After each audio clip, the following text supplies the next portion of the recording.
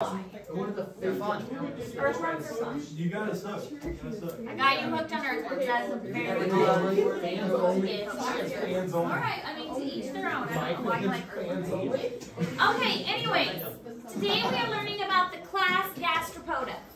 Class Gastropoda, gastro for stomach, poda is referring to foot. So this is stomach foot. Um, these are the snails and the slugs. Obviously, snails are going to have shells. Slugs do not have shells. And they move by a strong muscular foot. Some of them are going to have tentacles that have eye spots. Think of a little snail with the eye spots on the tentacles. Most of them are going to rely on their olfactory or smell receptors. They do not have hearing, so uh, they can't hear you.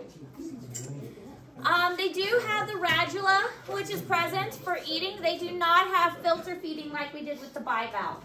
The bivalves had those siphons that they suck in the water with and filter out the particles from the water. No siphons in the gastropods. Gastropods have the radula for scraping stuff.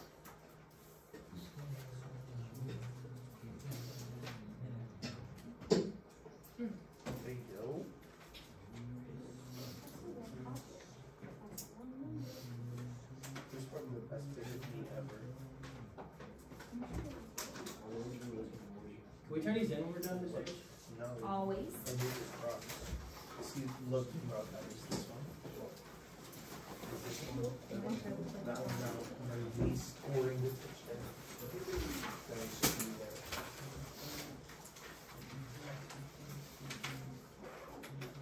On the last one, are we supposed to figure this out? I don't know. Should all be in. This, this part? It's only a little. I got. It's, it's not, it's not here. No, guys, mine looks, mine is super. What's here? Yeah, it's just a, it doesn't have the thing on it. Hold on. This is the back. This is the very back. Has, no, I told you pumps. Exactly. That's why I counted thirty-one, I'm missing the back page. That's called. Oh, he's missing a whole page. Everybody's missing the back page. Let's show it. No, you guys have it, I don't. It's like. There's nothing like ripped off. They're taking what you're. No.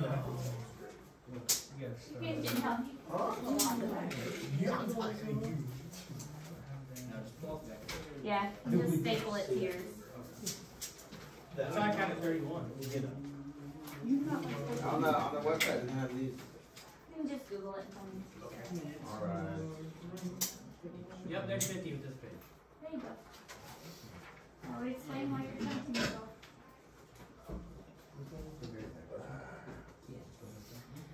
So, um, oh, are we not done? Can go back.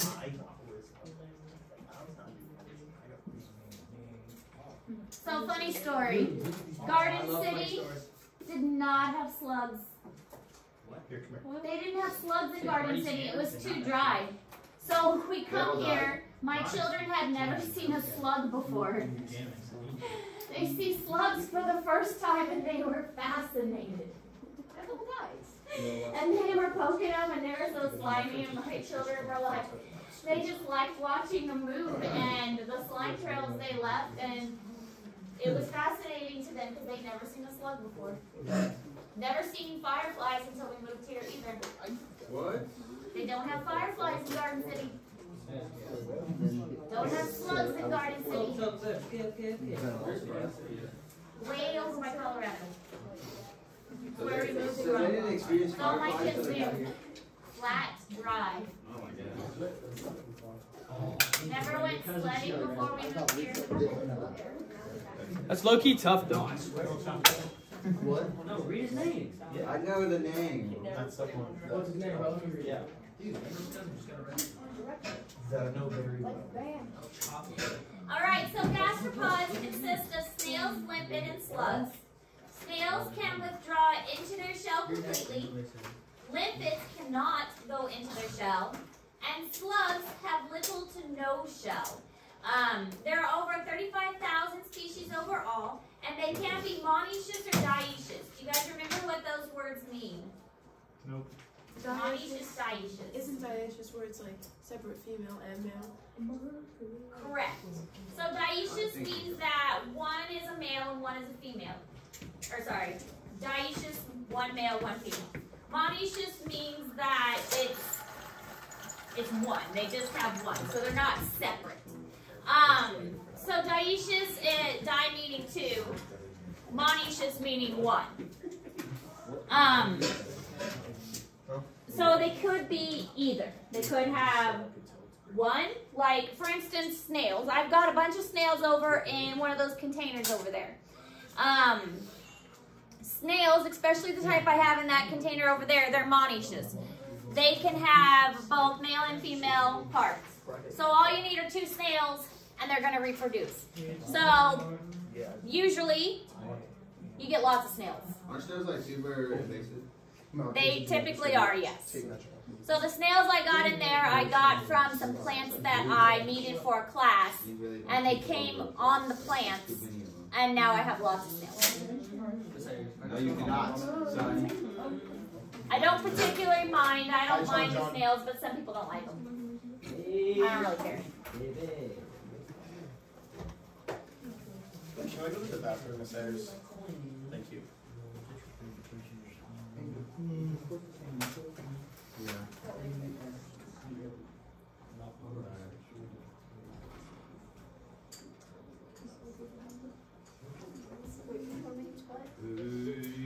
means one, di means two. Is mono is the term for one. You are correct.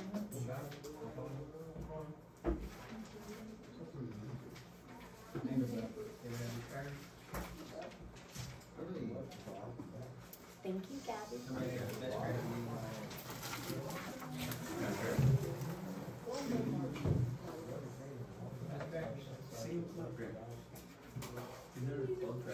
Okay, this is what a um, snail looks like on the inside. Here are the eye stalks with the tentacles with the eyes on them. Um, they can't really see very well. Their eye spots aren't really good.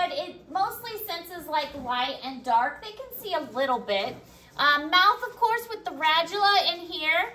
And then we have um, the reproductive opening is actually down here. This is mostly just muscular foot area.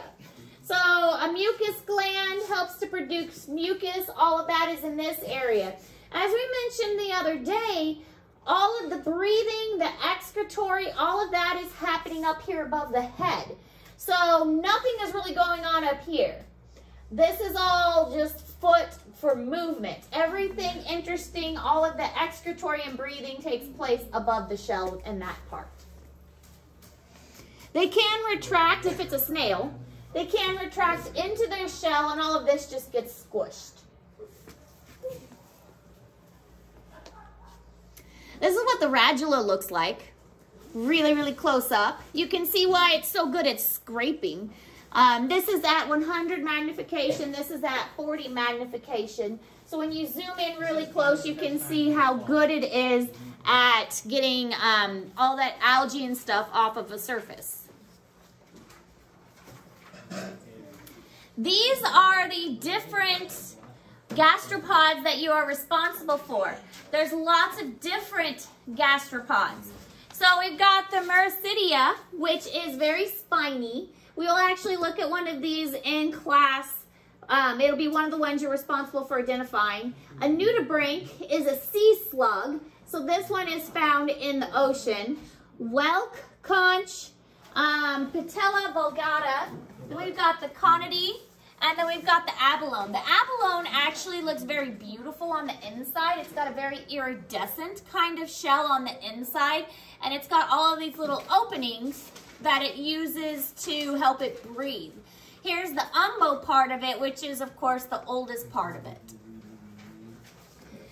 Again, these pictures are in Google Classroom. Any of these are fair game for the test. So don't forget to go back to these, study them when we get close to the test because there will be identification portion on your test. These you might need to identify, okay? The way the identification portion works, there'll be a picture and then there'll be a drop down menu with names, and you'll have to identify with the drop down menu which one it could be. So don't forget to go back and study those because you might see this picture on there. I need to know that's a well. From here on out, that's how your tests are going to be. There'll always be identification. All right. It's a big part of zoology is Coons. knowing what you're looking at. Conch. Cock. Escargot. Has anybody ever had escargot? I haven't. So delicious. No, I actually haven't. I apologize. I never tried that before. Escargot is a delicacy, which is snail. Um, heard it's very chewy. I am not an adventurous eater. I am a very cheese pizza kind of person. You're a picky eater. I am very much. I admit it. I am a picky eater, and so I would probably not try it. In, in truth, I probably wouldn't. I am not very adventurous. Probably not going to try it. Um, but good for you for those who would try this. I mean, tell me how it is. I probably wouldn't. So, but um, escargot, you can eat these. You can eat snails and limpets and slugs if you would like. I spent time over Christmas break watching a lot of those survival shows. Um, Alone was one of them, and some of the things those people ate. Well done for you. I, not not necessarily for me. Wait, are those snails like, are they like I'm sure they're in like oil. Are they like bubbling out of the shell? I think so. I think they're like in an oil that's kind of like that's their their juice, the slime maybe bubbling out of the. I don't know. It's what another reason I wouldn't eat it. Like, My my brother is a very adventurous eater, and his wife is Filipino.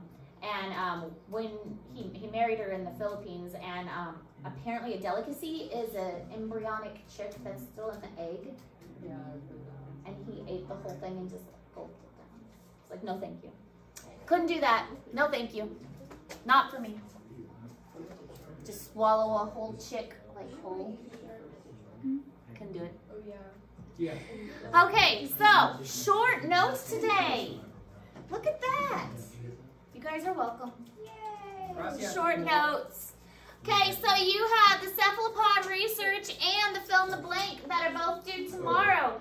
Probably going to get some more new notes or some new assignment tomorrow. Definitely getting new notes tomorrow too. Um, but cephalopod research and fill in the blanks due tomorrow. You will have new notes tomorrow as well. Um, but I'm not giving you a new assignment today. So you have plenty of time to get those other two done. Does anybody else need a copy of that assignment? Which one? printed out one, the fill in the blank one? You need one? Okay. Anybody else? Nope. All right. Get to work on those too. If you have questions, let me know.